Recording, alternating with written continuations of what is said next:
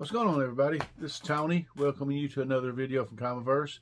This is the first episode of a series I'm calling Tony's Comic Spotlight and in this episode we're going to talk about the kid who collects Spider-Man. So stick around.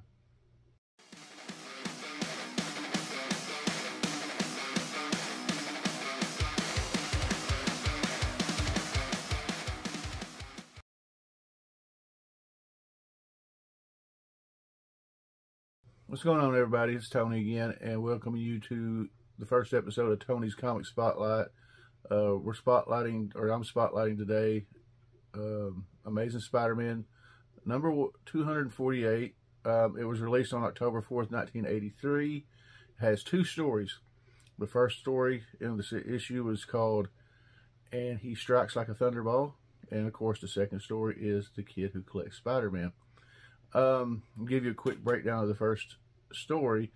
Um, it was a continuation from Amazing Spider-Man 247, where Thunderball is um, he's trying to find the weapons of his uh, crewmates, the wrecking crew, um, because he's losing his powers. So he's trying to find the wrecker's crowbar to get his powers back, and um, he gets the he gets the uh, ball and chain that he uses back, and he gets the crowbar, and he runs afoul of Spider-Man, and uh, but uh, having all the weapons by himself, he becomes a little bit more powerful, and uh, they fight for a little while, and um, the fight ends at a elect electric substation, and Spider-Man somehow I think he webs the ball to a conduit or something, and electrocutes Thunderball and knocks him out, and the police show up, and you know it's a typical superhero beat 'em up.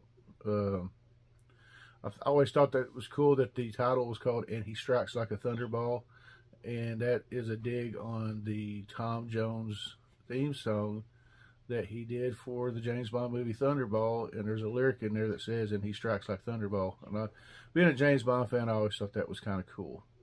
So in the second story of Amazing Spider-Man 248, which is entitled The Kid Who Collects Spider-Man, we've got young Tim Harrison, and uh, he's Spider-Man's biggest fan. And he, uh, it's a pretty interesting story. He's always idolized Spider-Man, and he's one of those kids that's went out and, like, he found all of the, I forgot what they call it, I'm going to call them reels of Spider-Man when he was on television when he first started. He has like a big old photo album of uh, newspaper clippings and retractions from the Daily Bugle.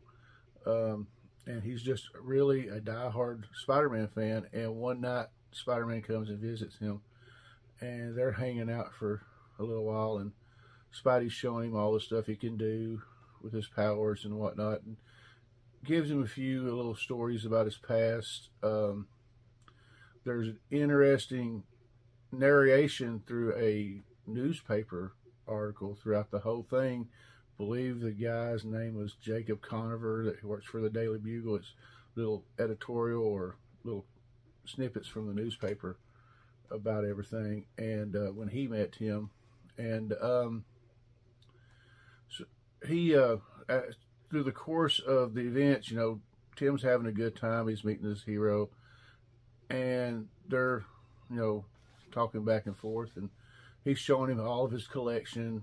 And um, at the end of the story, he Spider-Man gets ready to leave, and uh, Tim asks him who his what his secret identity was, and um, first he doesn't want to tell him. You know, he tells him the usual thing. You know, if everybody knew my identity, you know, my family would be in jeopardy. You know, which is always a constant fear of Peter Parker's. And Timmy tells him, he said, well, I won't, I won't uh, tell anybody as long as I live. So Spider-Man sits there for a second and just out of blue, he turns around, pulls off his mask and tells him who he is. And they share a big laugh, realizing that Peter Parker or Spider-Man works for J. Jonah Jameson, the guy that hates him and uh, is always trying to, uh, you know, attack him through the paper and whatnot. And they hug and and Spider-Man leaves, and the last page will really get you because it shows Spider-Man with the last shots. He's standing on a brick uh, gate, and he has got his head down in his hands, and it, well, I don't remember exactly what it says, but Timmy is at a hospital for terminally ill children, and the last newspaper clipping says that he has leukemia and only has two weeks to live. And, uh, you know, I've read a lot of superhero beat 'em ups from X Men, Spider Man, Batman, whatever, you know, your traditional good guy versus bad guy. But every once in a while you get this, uh, these stories that just really get you. And when I first started collecting comics, everybody said, well, you collect Spider-Man. You got to read The Kid That Collects Spider-Man. Okay. Um, and for a long time, I didn't even know what issue it was. And then finally, you know, I found out what it was, what issue it was. I tracked it down. And it just moves you. And I probably would consider it one of my favorite Spider-Man stories of all time. And I'm sure a lot of people will, some other people would too. Um, I, this is a story I go back and read multiple times throughout the year. And you can't see it, but up here I have a 7.0 copy on CGC. No, yeah, CGC that I got for 30 bucks. Um, I have a raw copy as well. Um, but if you ever get a chance, you pick this book up because it's still reasonably cheap. Um, and to be honest, this is one of those books. If I go into a comic book collect, uh, comic book store, if I see this in the back issue bins, I don't care if I've got a hundred copies. I'm going to buy it every time because I love it. Um, Roger Stern wrote both stories, and now for the Thunderball story, John Romita Jr. did the art, and I believe Ron Frenz did the art for the kid that collects Spider-Man. Um, I know a lot of people, if you're watching it, some people watching this video has probably seen it, and but uh, yeah, like I said, I think it's one of the best stories ever as far as Spider-Man goes. As far as the traditional, you know, it's not the traditional beat 'em up stuff, but it really gets you. And uh, I believe, if I'm not mistaken, I can't remember the, the comic issue. I want to say it's like a, a Spider-Man annual or something. But years later, Timmy's brother tell either tells Spider-Man that Timmy died. I believe his brother's name was Joey, uh, and uh, tells him that Timmy died and or something. I've never read the story, but I'm gonna have to track that one down.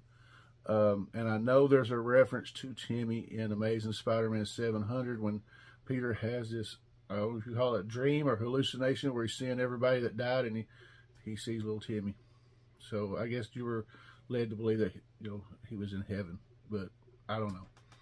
But anyway, I'm gonna wrap it up. Um, I hope you enjoyed this video. I'm uh, going to alternate every Tuesday uh, I'm going to do a Tony's Topics, and then the next week I'll do a comic book spotlight.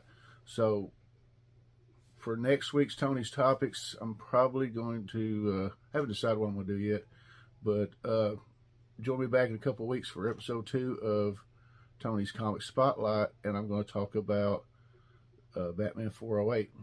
So I uh, hope you enjoyed this, and I'll see you.